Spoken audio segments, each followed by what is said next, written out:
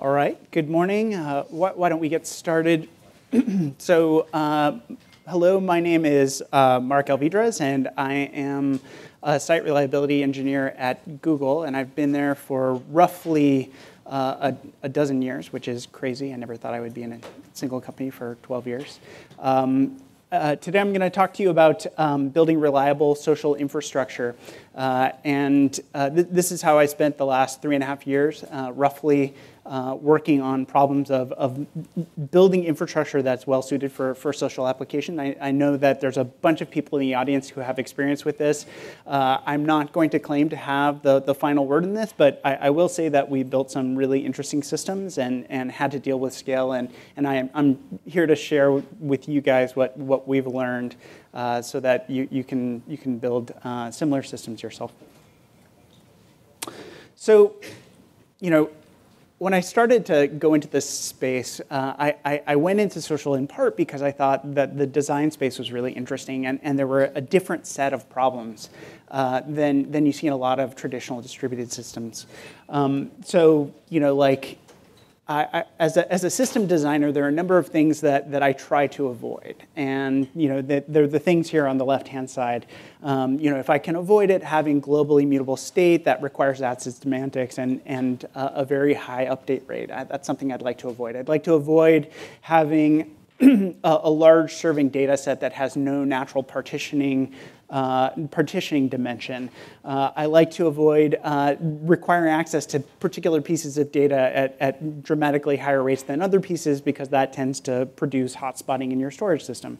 Um, and you know, if at all, I'd like to avoid uh, having to provide interactive latency to a global user base.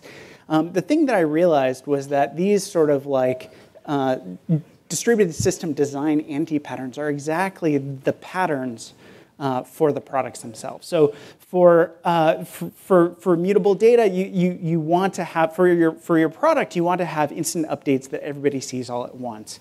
Uh, a, a, social, a, a, like a well connected social system um, has at its core a, a, a, a, set of data that's really hard to partition.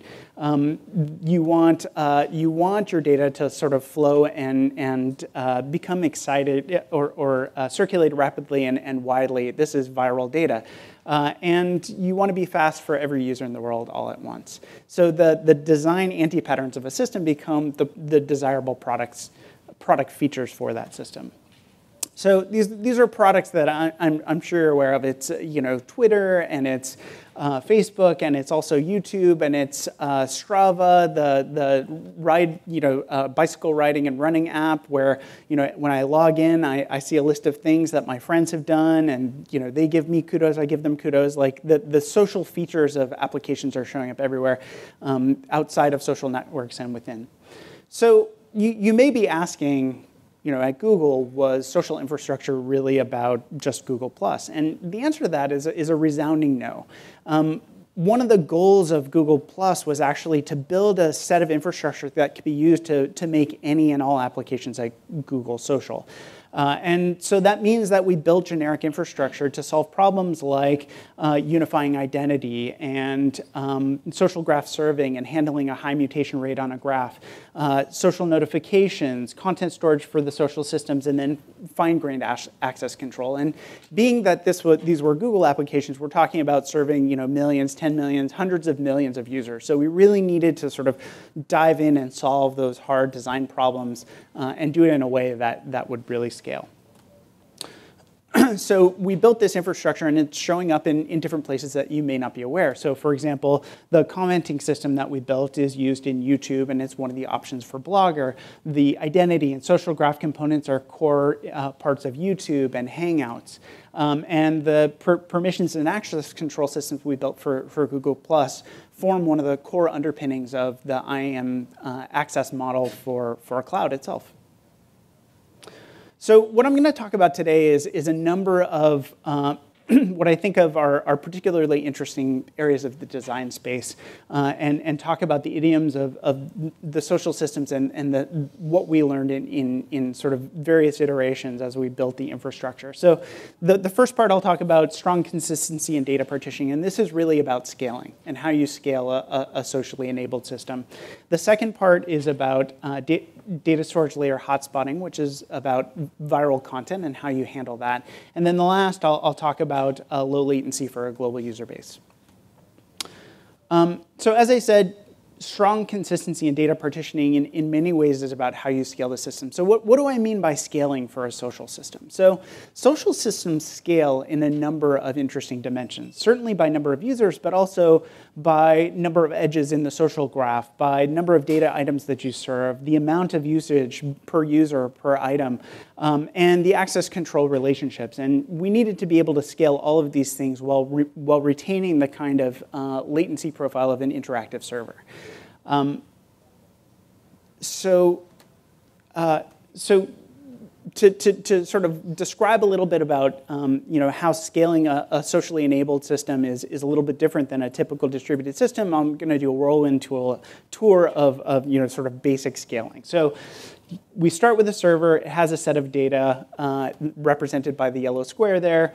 Um, all is well and good. Until you run out of capacity on that server, we all know how to solve this problem you replicate, right? You, you have multiple copies of the server with the same data set with a load balancer in front of it. Um, so you have success, your data grows, and your data grows some more until it can't fit on a server. So can anyone you know, sort of tell me what, what's a common way of addressing the problem of running out of space to, to fit your data on, on each of the instances? Sharding, sharding, which is also known as partitioning. So um, you look at your data set and you say, you know, how can I split this data set into pieces? Either, you know, maybe it's in dictionary order, maybe it's some structured data, or, or maybe you want to distribute it in, in a random fashion using a hashing function. Uh, so a trivial example, you have a, a, a bunch of names, you have a bunch of names, you know that they're going to grow, uh, they're not going to fit on a single server anymore, so you break them apart and into multiple pieces. And so going back to our example, we have a bunch of data, it's going to grow, it's not going to fit on the server, so we, we partition it or we shard it. And then if you run out of capacity that way, you can replicate the shards. So how does this apply to a traditional distributed system? Well, let, let, let's look at search. So for search, the use case is actually really easy, right? Um, because you have a, a large read-only data set. The partitioning function is very straightforward. You can partition by URL. You can partition by hash. Uh, it has a tree structure which scales nicely both in terms of data set size and also compute associated with that data. Um, you don't need global identical consistency. You can have multiple copies of the internet spread around the world and do searches on them independently. If they're not all in sync, that's actually not a big deal. Um, provisioning is easy, you add more copies, and emergency, emergency response is also pretty straightforward because you can bring those copies offline. And you know, to, to be clear, a, a, lot of social data sets actually partition really nicely, like posts or comments. Um, these things actually break apart into really nice pieces. Um, one thing that doesn't break apart into nice pieces is the social graph itself. And, and really, if you think about it, a social graph is a, a, a directed or undirected graph whose point is to sort of create a set of interconnections. Uh, and you might think like, oh, well, you know, you can just sort of draw a line through through the, through the edges, right? Well, you, you can't because not only do the nodes hold data, the edges themselves hold data as well. They, are, they're, they, they provide information as well. You might, you might, for example, have a node that represents a social group, and the edges connected to that node represent the access or, or membership within that group. So there's really no clear uh, partitioning function. Um, so if, if we can't partition, then can we use the other strategy? Can we replicate the data to make it easier to serve large amounts? Um, well, you know, unfortunately, uh, uh, in many cases, the answer to that is no, because the, the mutations that you apply to the, to the graph are actually privacy-sensitive actions. So uh, in, in social networks, there's a, there's a common set of problems known as the new friend or new enemy problem. Um, and starting with a friend, Uh, say that you, you, know, you connect to someone or you reconnect to someone, you snap a picture, you add them to your social ne- network, and you blast it out to your friends and say, like, hey, check it out, look at who I met. Well, you want that post, that, that picture, to actually go to the person you just added to your network. So you can't really accept much in the way of propagation delay across, across a set of replicas. Similarly, if you have a new enemy, uh, Alice and Craig were friends. They had a fight. Alice unfriended Craig and then sent out a note saying, like, can you believe what Craig did? Well, she doesn't really want Craig to get that, right? So, you know, like having delay in that system is, is actually um, potentially very problematic. Um, similarly with, with blocks. If you block a user, that block should be from that point in time and forward. It shouldn't sort of come and go again as the, as the, the information about that block propagates through systems.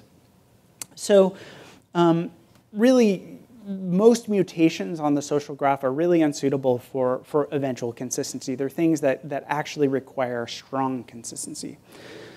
So is everything lost? Does everything need strong consistency? Well, no, I gave some examples earlier, but then also um, there are lots of things that can be safely estimated or, or that can propagate out eventually. So view counts or reshares or plus ones, all of these things are, are you know, reasonable to sort of uh, estimate to get into the right order of magnitude.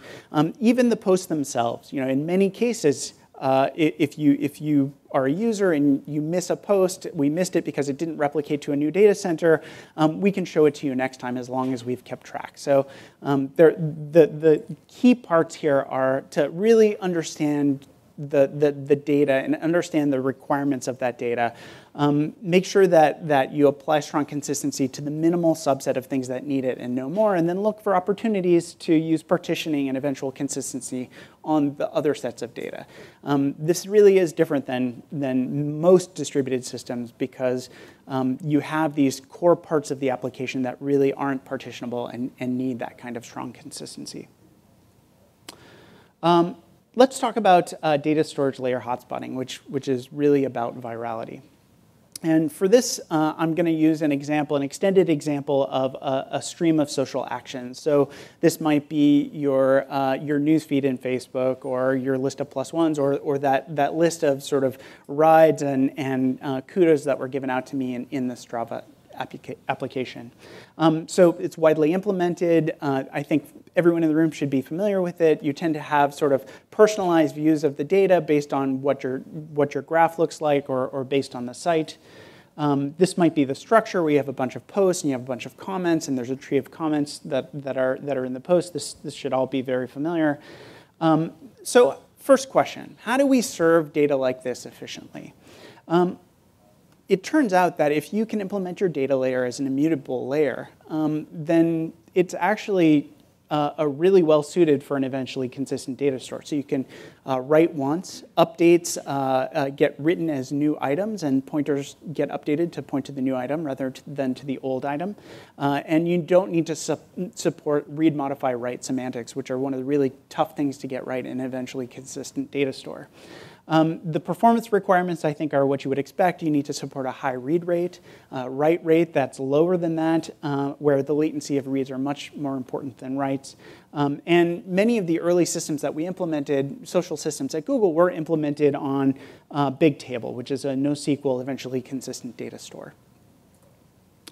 So here, you, here I've uh, created diagrams of a couple of common configurations for how to actually structure serving this data. So you've got um, you know, the, the, the, source of the requests in the cloud, you've got a load balancer, you've, you've got a business logic layer, and then you've got a bunch of, of storage servers on, on the edges. So uh, common, common layouts of the data would be, you know, so for, for diagram one, you've got uh, where you, a case where you store each entity, each post or comment um, separately uh, in the leaf nodes of the system. Uh, the, the other common way of doing this is to group the posts and comments into sort of buckets that are per user. Uh, and I'll go through each of these to talk about the pros and cons. So the, the first one, where you store each entity independently, another way that goes by is, is a read fan-in system. Because essentially, when a user shows up and they want to read content, um, they have to read, they end up getting uh, posts and comments from many of the leaf nodes. So you're fanning in the requests at read time. Um, this fan-in tends to do wonders for your tail latency. It's actually really horrible for tail latency um, because only you know, one of your systems has to be slow in order to slow down the entire request. Um, writes, on the other hand, are super cheap, right? Like they go to one place, you, they write to one server, you have sort of redundancy underneath that server, so you don't have to worry about uh, uh, losing copy of the data. Um, but they're, they're really cheap. And also, um, the, this is a, a storage space efficient solution. It scales with the number of entities that you have. So this is a read fan-in system. So contrast this to another common idiom that you see, which is a write fan-out system. And this is one where as, a, as new posts come in, you actually fan them out and write them into buckets that are per user. So if I were to make a post and it goes to 10 users, uh, at write time, I would write that into the, the sort of buckets of each of those 10 users. So this is sort of the flip of, of the read fan-in system. Writes are very expensive. They have poor tail latency. You have to deal with partial success and failure. It's, it's, it, it becomes you know, difficult to, as the number of writes goes up, though reads are super cheap. So the most common thing that happens is a user comes, they want to see what they have, they read their bucket, and you know, it, it all goes very quickly. Um, the storage space used here is less efficient because you've got um, the number of entities times the roughly the network density or how often those entities get replicated. Um, so it's, it's not quite as efficient. So which do you choose? Uh, in, in, some sense, the question comes down to what you want to be expensive. What are you optimizing for? So uh, a write fan-out system, maybe the ultimate expression of, of a write fan-out system would be an email inbox you know, this is how email works. You, we, you send a message, it gets duplicated and written out to each of those, each of the users who receive it. They're able to read their inbox. Um, so reads are cheap, writes are expensive, um, and being a store and forward system, the, the, fact that writes are expensive is really not that big a deal. Uh, and storage is expensive. For a read fan-in system, maybe the ulti ultimate expression of that would be a distributed structured database, something where you actually need to go out and get responses from every leaf node in order to construct the, the proper uh, uh, response back to the user. Um, we tend not to have to have that kind of tolerance in a social system. Like there is some acceptability for, for lossiness, uh, but um, that, that I would say is, is, is the ultimate expression of a read fan-in system. So writes are, are, are cheap, reads are expensive, uh, and, and storage is cheap in that case. Um, the, either of these are reasonable solutions for, for many types of social problems. Um, where they tend to fall down is, is that uh, in, in the case of outlier users. And these show up increasingly as your, as your social network or as your social system gets popular. So who are the outlier users? Well, uh, there are two types, celebrities and super followers. So celebrities are something that everybody understands. They tend to have orders of magnitude more followers than the median user. Uh, and they tend to have very atypical, atypical interactions.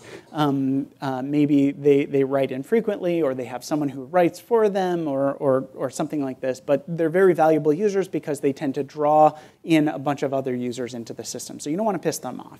The other type of, of sort of um, outlier user um, we call the super follower. And this is someone who is super active on your system. They tend to follow uh, orders of magnitude more people than a, than a typical user. So if a typical user has 50 friends, this person may have 5,000 friends. Um, and this stresses the system in, in, in the other dimension. Uh, so, you know, in, in, the case of celebrities, if you're using, if you have a write fan-out system and you, you write, they write a message and it goes to millions of users, you know, that, that's pretty horrible. Similarly, a super follower has terrible experience if there's a read fan-in system and they're pulling in data from every single leaf node. Um, you're, you're surely going to get you know, slow response times. Um, the super followers, though, tend to be really engaged and really like your product, and they, they make it better for everybody else. So you don't want to piss them off either.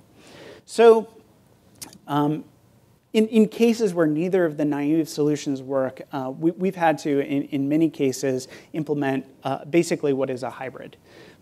so the, the, hybrid system uh, is one where we use write fan out for typical posts so that we collect the posts for a user to make the read experience really good, um, but we handle celebrity posts differently. And for those, we replicate them um, separately from the rest and maybe put them on all the storage nodes so that a, a, given read will pull a user's data and then also celebrity data that's associated with that user. Um, so you, your reads, you, you end up multiplying, you have multiple reads instead of a single read, but, but actually a small number of them. So the, the, the effect on the tail isn't too bad.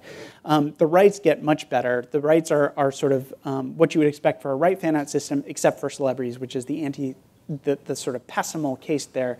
And there you're just doing a simple replication, and you might have a separate set of infrastructure to actually support writing and reading celebrity data.